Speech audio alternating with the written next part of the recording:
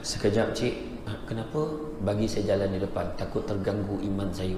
Oh, Yang mantap. perempuan ni, inikah jodohku? Ya ampun. jalan tu lah, jalan.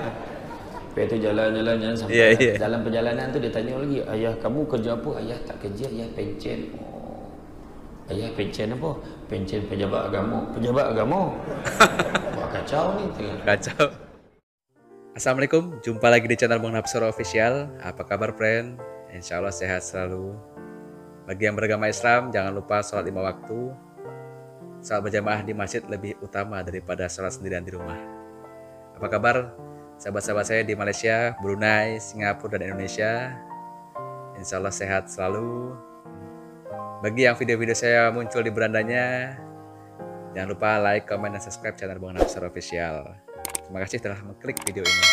Nah, di video kali ini saya ingin menonton sebuah eh, video dari Ustadz kesukaan saya, favorit saya, yaitu Ustadz Samso Debat.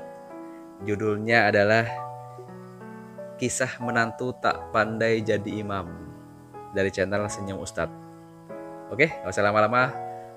Langsung aja kita tonton dan sebelum nonton kita akan iklan dulu.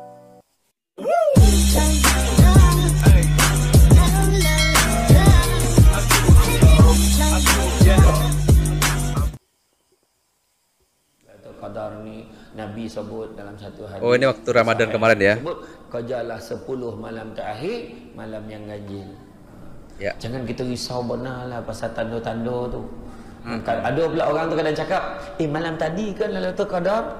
Ramai yang cakap, kita dengar dia kecewa tu. Aduh. Tak sampai dan contohlah kan. Ha. Ya.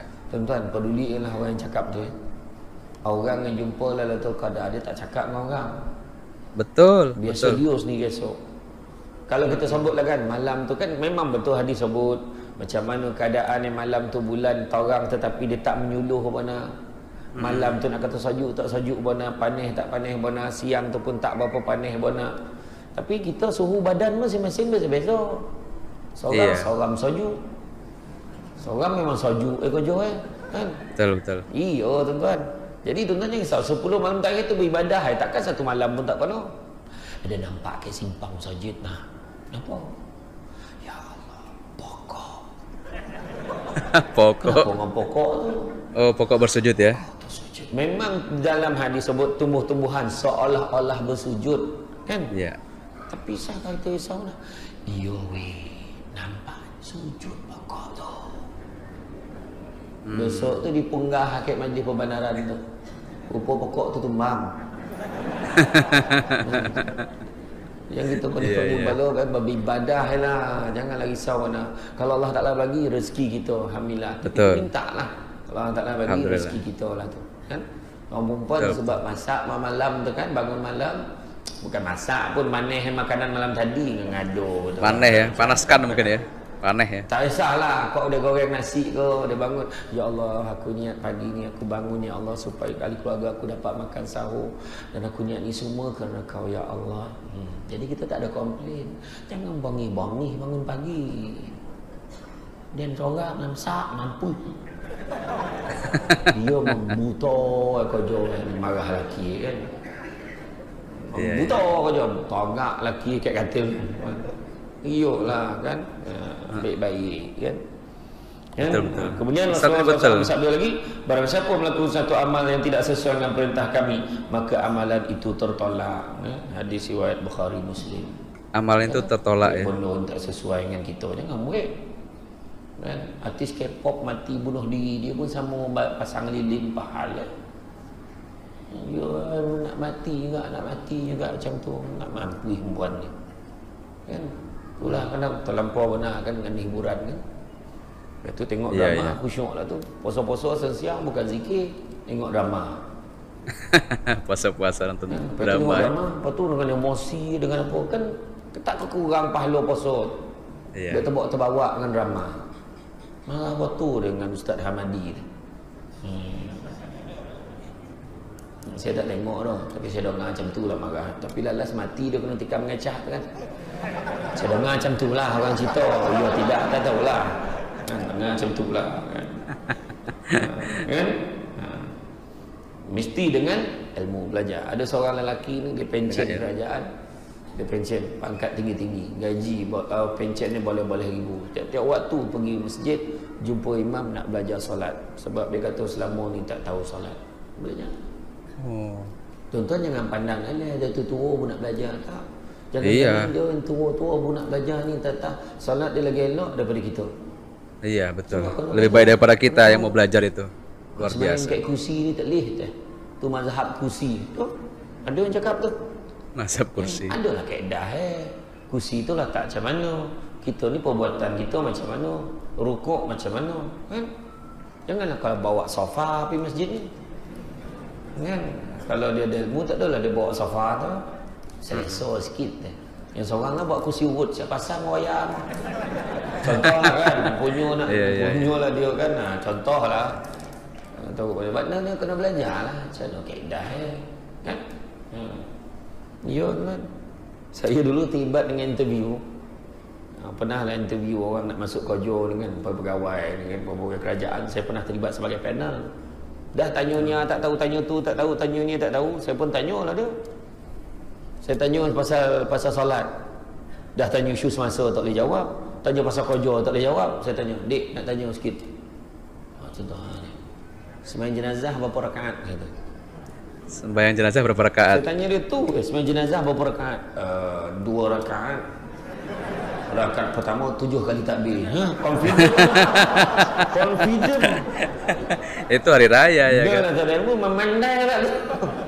Iya tuan oh, gila tu budak ni tu sembahyang ayo dia tu iya tuan budak-budak sekarang kan nak cakap apa kan nak cakap apa ilmu tak ada jadi macam tu lah tuan-tuan Ilmu ya. Nah, tu sebab kau nak belajar. Kan? Parah tuan. Tu sebab ilmu jago kita. Ilmu ni yang jago kita. Yang kedua, ibadah mestilah didasari dengan keikhlasan. Ikhlas. Ikhlas, benar. Kan? Ikhlas Ikhlas itu. ibadah dan tidaklah mereka diperintahkan melainkan supaya mereka beribadah kepada Allah dengan ikhlas surah Al-Bayyinah ayat liya'budu. 5. Kan? Al-Bayyinah, betul, betul. Ya, jadi makna kata ikhlas aku sembahyang subuh dua rakaat sebab mak mentua aku ada kat rumah. tu tak ada ikhlas itu dah. Sebab mak mentua ada kat rumah kau main kuek dia kata habis subuh tu. Allahu akbar. Tu, Oh, mak kan main. Ada mertua. Allahumma hdina fiman hadait. Mak mentua dekat rumah. Eh. Oh, sah betul lah syukur dapat menantu subuh tak tinggal. Wahal kawan tu kunut tang hati-hati tu. Memang tak nampak kan. Ya, kau nak belajar tu. Iya, iya. Ikhlas ya, ikhlas. Ada satu kisah. Wah, ini. Saya juga mak bawa kisah. Dia mana dia nak mana dia jahat-jahat lelaki ni dia nak perempuan baik. Dia seorang lelaki tu aku kalau boleh aku nak perempuan tu dong labuh jadi bini aku tu. Us. Dia perangai memang parah lah tahu. Dia nampak perempuan tu memang dia suka perempuan tu dah lama dia target dah di peteng lah. Peteng ni target lah. Target. Tahu tu bahasa darik tu kan. Dia nampak Assalamualaikum. Waalaikumsalam. Perempuan baik. Salam. Kalau saya nak jadikan awak isteri saya, astagfirullahalazim. Ya Allah, ya Allah. Cinta perempuan. Saya tak boleh bagi jawapan kena tanya ayah saya kata. Oh, tanya ya. Ah, tunjukkan saya kat mana rumah ayah kamu. Oh cik, dia perempuan tu pun jalan dia ikut tam belakang. Us. Ikut tam belakang lelaki dia teringat kawan yang pernah cerita pasal kisah Nabi Musa dulu.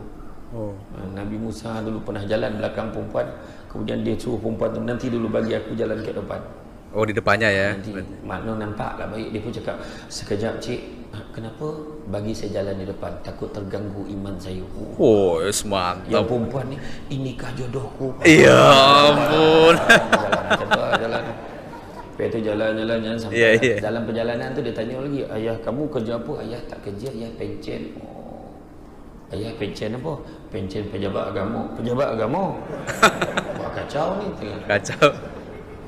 Habis ayah sekarang buat apa? Tak ada apa lah. Ayah kat rumah tak ada buat apa? Hmm, cuma ayah sekarang imam satu lah kat kampung. Imam satu. Wah, parah ni. Macam? Ayahnya Ah, imam. Rumah awak mana? Tuhan yang bombong biru. Ah, tak apa. Kamu balik dulu sekejap lagi saya sampai. Rupa dia pergi kodai. Boleh jubah, beli sorban. Oh, yes. Sampai depan orang tua tu dia bukan nunduk dah menyarap depan orang tua tu. Dia salam orang tua tu berjilat kan. Oh. Orang tu nak tahu eh kau ni jang tu kan. Tak ada pakcik, saya berhasrat nak jadikan anak pakcik sebagai isteri saya. Orang agama ni senang ni tuan-tuan. Kalau dah tu jodoh anak pakcik, pakcik redha. Senang ni. Dah pergi salat. Kemudian buat sujud syukur. Oh, Wah, dia pun poi lah. Dia pun tak pernah buat benda tu. Dia Mantap. pun belasah lah. Semayang, lepas tu dia sujud. Agaan sekali lah tu. Kan? Dia dah buat, lepas tu dia sebut. Kahwin lah. Oh, nikah juga dia. Selepas kahwin Pagi, potang, siang, malam Dia Pergi masjid Dia tak tinggal betul pergi masjid. Subuh pergi, zuhur pergi, asar pergi Oh, jadi rajin dia. dia tak nak Pak Muntur tahu yang dia tak erti semayang. Ha, Dia tak erti semayang mana? Tapi dia ikut lah. Bapak mentua pun pergi masjid yang bertugas Dia lagi handal lagi mentua pun ni. Hmm. ha, Dia kata Malam ni kita semayang maghrib di rumah. Bapak mentua dah korang Oh, Bini pun pesan abang, abang hati-hati tahu. Kenapa? Kalau abah suruh semayang kat rumah tu takut-takut abang jadi imam. Dah abah kau imam satu dia lah imam. Pula abang lah.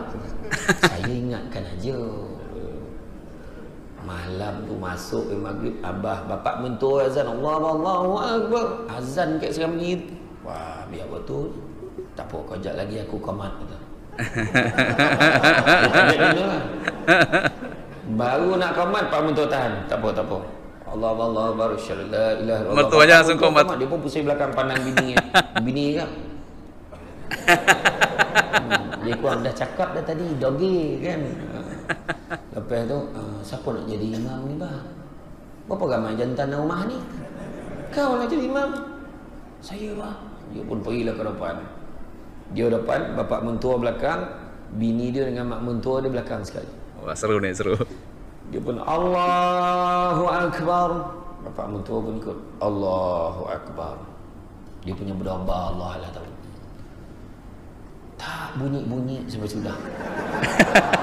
Diem aja. Senyap pokok dak ni senyap. Senyap. Tak bunyi-bunyi. Dah 15 minit tak bunyi ni. 15 menit nggak bunyi. Sudah bapak mentua Allahu Akbar Hoi Saya tak tahu dah. Kau tak tahu kenapa? Nervous? Nervous eh, Kau duduk belakang. Eh, Sudahnya menantu duduk belakang. Bapak mentua jadi imam. Allahu Akbar. Kali ni dia nak suruh Menantu dia tolong dia. Nak tengok beli betul ke tidak? Saja buat lupa. Bismillahirrahmanirrahim. Alhamdulillahi Rabbil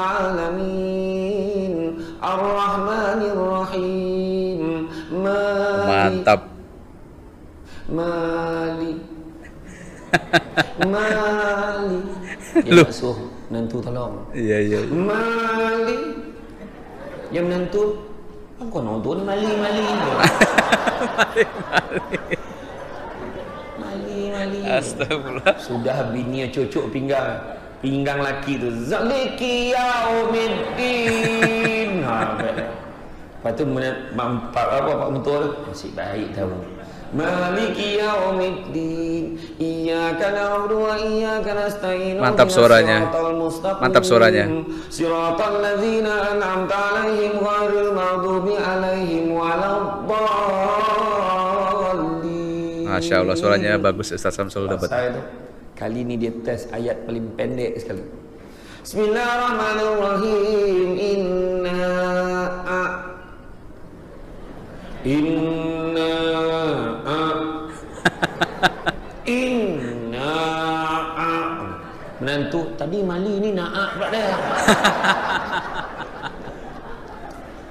Ni Mali naak pula dah. Aduh. Lepas bini cucuk pula Zap Dia pusing belakang Abang tak tahu ayat ni Langsung mak mentua dia Inna lillahi wa inna ilaihi raji'un Dah tak tahu Dah tak tahu Macam mana Ya. Itulah kan Ikhlas Astagfirullah. belajar. Ini sebab nak nikah Iya, iya, eh. iya.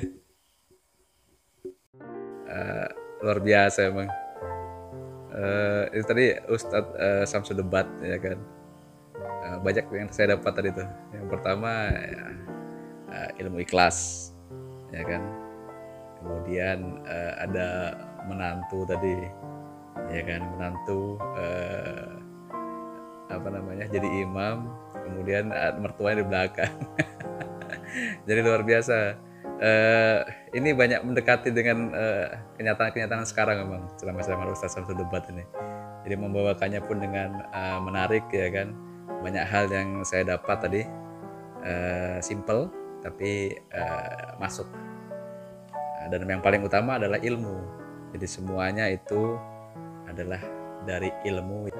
Jadi kita harus mencari ilmu agama. Nah, itu aja. Itu aja prinsipnya ya kan. Itu video malam hari ini. Nah, insya Allah bermanfaat. Jangan lupa like, comment, dan subscribe channel Bang Hafsir Official. Oke, salam sehat selalu. Terima kasih telah menonton. Assalamualaikum.